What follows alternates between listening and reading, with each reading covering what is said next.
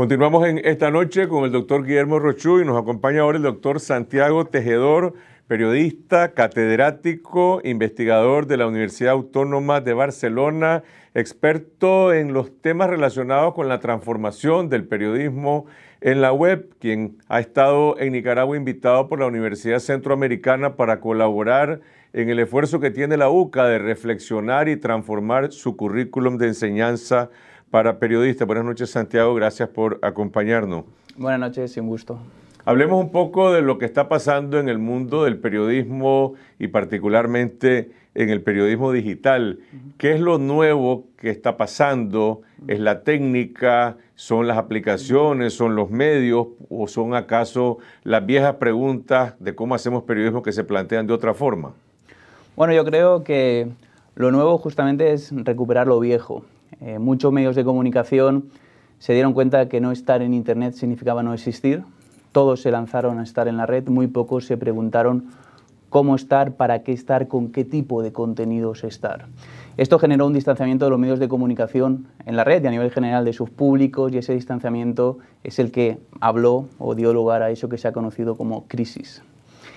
Eh, actualmente, justamente, Internet está permitiendo una reinvención del periodismo donde pequeños y emergentes medios de comunicación, especialmente en el escenario latinoamericano, nos están demostrando que el periodismo nunca ha estado en crisis, lo que ha estado en crisis es la manera de hacer periodismo, la manera en que muchas personas, sobre todo aquellos que estaban dirigiendo los medios de comunicación, pensaron que tenían que hacer su trabajo y resulta que este trabajo no es o no consiste en producir o fabricar tornillos, sino en moldear una sustancia muy particular que es la información con unas consecuencias y un impacto decisivo en toda la sociedad. ¿Cuáles son algunos de esos medios de comunicación en América Latina que están eh, marcando pauta, innovando, hablar de, en algunos casos, pequeños medios, no necesariamente siempre son los grandes diarios, aunque algunos grandes diarios están haciendo cosas interesantes. Caso Clarín, por ejemplo, en la parte digital, eh, ha tenido una trayectoria interesante, pero hablemos de los otros medios.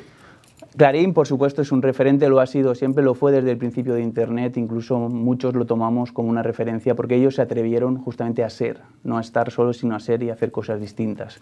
¿Cuáles son esos medios emergentes que algunos eh, han tilado ya como el nuevo boom del periodismo digital latinoamericano? Son, por ejemplo, medios colombianos como La Silla Vacía, eh, medios centroamericanos como Plaza Pública, medios españoles como Periodismo Humano, medios que se dediquen a microaudiencias, a públicos más específicos, a contenidos más reducidos, que no quieren ser generalistas, que saben que no pueden alcanzarlo todo y que sobre todo intentan huir de ese periodismo superficial de declaraciones y buscar eh, la esencia, el contenido bien elaborado, porque justamente la gente lo que quiere, o al menos el periodismo lo que tiene que intentar atraer es a lectores que van más allá de la epidermis y quieren un periodismo de contexto y de soluciones.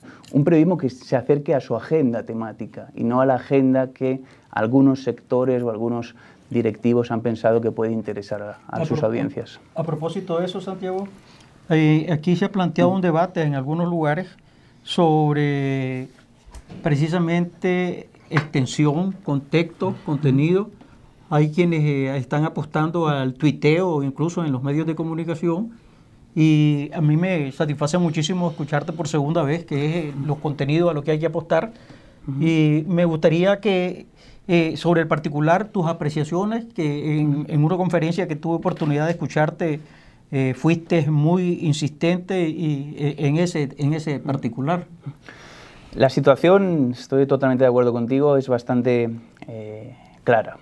La revista Forbes dispone ya de robots que escriben noticias, titulares y tweets. Robots, máquinas, que el lunes no piden un aumento de sueldo, que el martes no se quieren ir antes, que el miércoles no tienen dolor de cabeza y tienen que ir al médico. Máquinas que hacen contenidos, pero esas máquinas no saben buscar historias.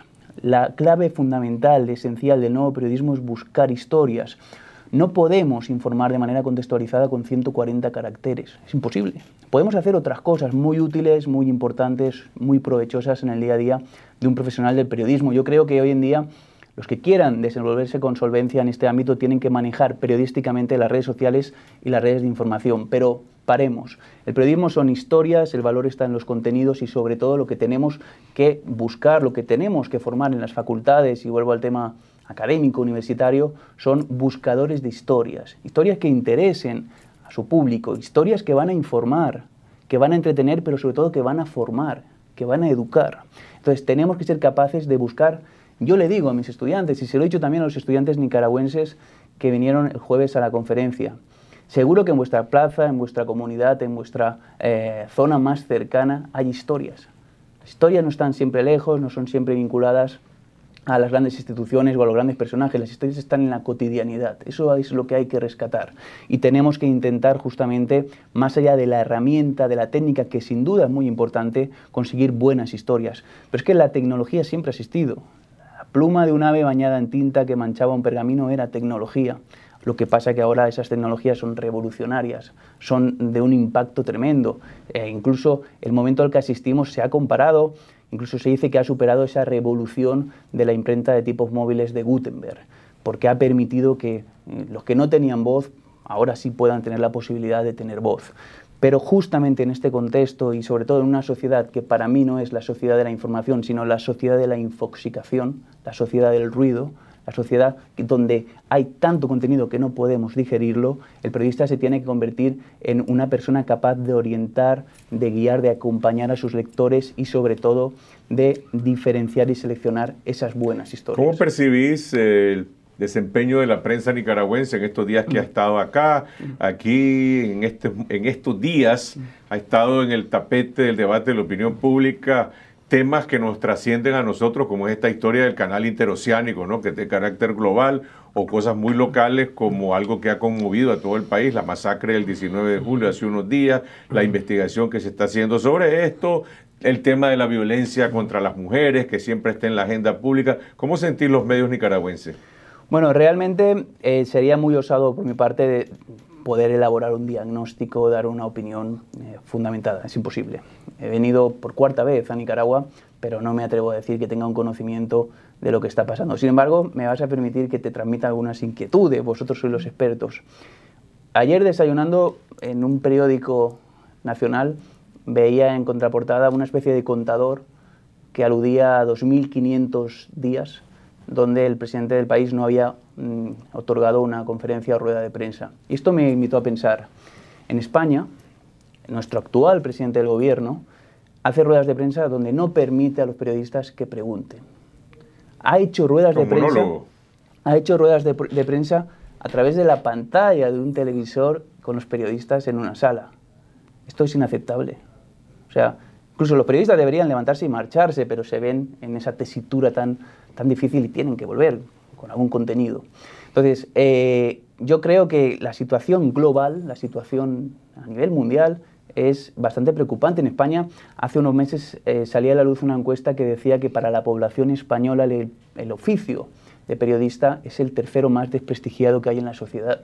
Bueno, las encuestas de Nicaragua son bastante discutibles por su confianza. Hay gente que no tiene tanta confianza en las encuestas, sin embargo, coinciden en atribuirle a la prensa un alto grado de credibilidad, igual que a las Fuerzas Armadas, también a la prensa, también al gobierno. Hay que decir que las encuestas le están dando eh, bastante confianza en estos días, pero la prensa da la impresión que hay bastante confianza. No, todos los, últimos 10 años eh, han, sido los mismos resultados. Están en los tres primeros lugares, pasa al segundo, al tercero, una vez estuvo en primer lugar. Lo cual no quiere decir de que nuestra prensa tenga un alto grado de calidad, pero bueno, eso es lo que la gente está diciendo. No, pero yo creo que la pregunta que le hiciste a, Santiago, yo creo que iba a, ir un poco más a fondo con ese ese pequeño reclamo cotidiano que le hace el diario La Prensa, que es el que se lo formula el presidente de la República, porque ya en España por lo menos le permiten dentro de una pantalla, los invitan de manera indiscriminada, ¿no? Bueno, en algunos momentos se ha, cuestionado que justamente en una de las ruedas de prensa, donde sí se permitieron preguntas, se seleccionó a los periodistas que iban a preguntar. Entonces esto ya también vuelve a generar una cierta polémica y un sentimiento de malestar, porque nuestro trabajo es difícil, pero si las condiciones son eh, tan complicadas va a ser todavía más, más difícil y por ende las encuestas van a hablar mal de nosotros. Pero yo le decía el jueves a los estudiantes, Kapuczynski, Kapuczynski decía, lección número uno, para ser buen periodista hay que ser buena persona. Lección número dos, fundamental. Se nos ha olvidado, se nos ha olvidado la sociedad. Eh, Kapuczynski decía que la tarea del periodista no consiste en matar cucarachas, sino en prender la luz para ver cómo las cucarachas corren a ocultarse. Lo que pasa, eh, y él venía a decir en resumen que los periodistas no tendrían que ser héroes, no tendrían que ser héroes. Lo que sucede es que en algunos países, hablo del país, eh, un país cercano al que quiero mucho, que conozco bastante, que es México, los periodistas sí se han convertido en héroes. Y cada día se juegan la vida y tienen que enfrentarse a esa disyuntiva de informar e intentar hacer mi trabajo y arriesgarme, asumir las consecuencias. Han asesinado muchos directores de medios de comunicación, especialmente en la zona norte del país. O aplicarme lo peor que se puede aplicar a un periodista, que es la autocensura y no decir lo que está pasando delante de mí. Entonces, el, periodista tiene que prender la luz, tiene que encender la luz, y otros son los que deberían solucionar los problemas. Si la sociedad nos pide que prendamos la luz, que identifiquemos los problemas, que contemos los problemas y que los solucionemos, evidentemente no somos superhéroes. Una, acotación a, a, dos cosas que ha señalado. Uno, lo de la falta de conferencias de prensa.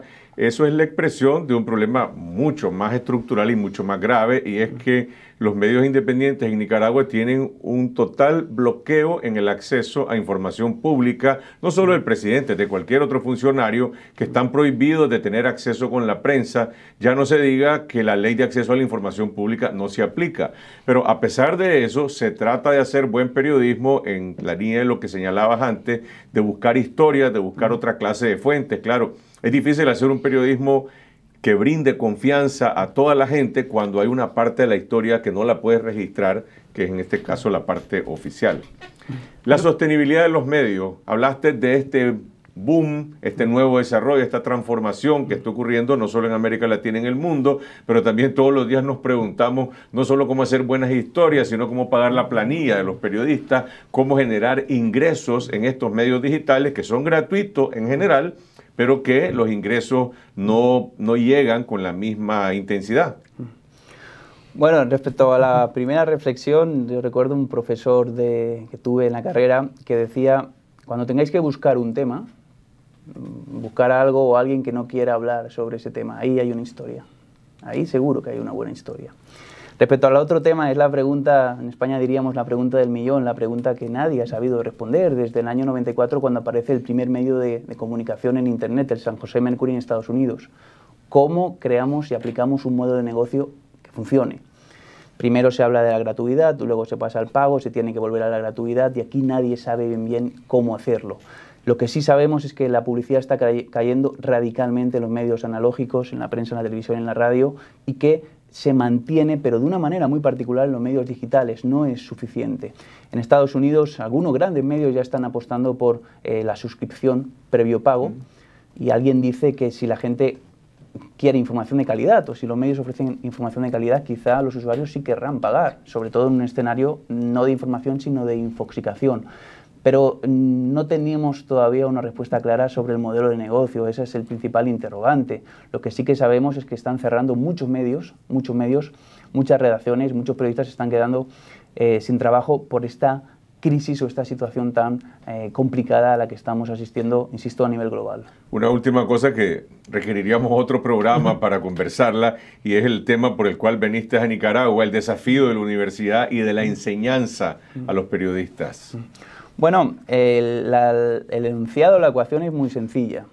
Yo siempre he pensado que no tendremos cibermedios si no tenemos ciberlectores.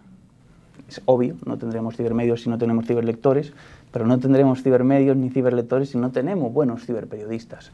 Los ciberperiodistas los tienen que formar la universidad, partiendo de, una, una idea bastante evidente. El ciberperiodismo es periodismo. Cuidado que no pensemos que ahora todo es instrumentación, tecnología, herramientas que caducan y se modifican rápidamente. Según los estudios, un plan de, comunicación en una universidad que se dedicara, que trabajara el tema del periodismo digital debería reformularse en un 50% cada año. El pensum, mm. el syllabus, el programa tendría que cambiarse en un 50%. No pensemos que hay que ir detrás de las herramientas, sino detrás de los conceptos. Yo creo que estamos en una situación decisiva y aquel que se aventure a tomar el liderazgo en el ámbito universitario será el referente, porque justamente tenemos que pararnos para recuperar lo de atrás que sigue funcionando. Hablo de la argumentación, de los grandes pensadores y filósofos de la antigüedad clásica, hablo justamente de la redacción, hablo del gusto por la lectura, hablo de profesionales formados humanística y culturalmente y sobre todo también, insisto, mm, instrumentalmente. Hay nuevas herramientas que se tienen que enseñar. Dar la espalda a Internet, lo decía en una entrevista aquí en Nicaragua, es prácticamente dar la espalda a todo. Y la universidad, me decía mi, maestro en España, que la universidad no es de los alumnos, la universidad no es de los profesores, la universidad es de la sociedad. Y la universidad tiene el compromiso de formar buenos profesionales, técnica y instrumentalmente, pero sobre todo eh, crítica y deontológicamente. Ahí viene un poco el enfoque. Internet está introduciendo verdaderas bombas de relojería en el componente ético. Parece ser que todo vale y que esa voluntad o esa ansiedad de ser el primero en informar está llevando a muchos periodistas a convertirse en ser los primeros en equivocarse. Ahí es donde la universidad tiene que volver a convertirse en una entidad, en una institución de reflexión, de pensamiento crítico, donde no solo se maneje lo instrumental, sino también que se piense sobre el impacto de esos instrumentos. Gracias, doctor Santiago Tejedor. Vamos a estar a la expectativa de este proceso de transformación, reflexión que se está promoviendo desde la Universidad Centroamericana y también otras facultades de periodismo y de comunicación que hay en el país que van eh, en la misma búsqueda.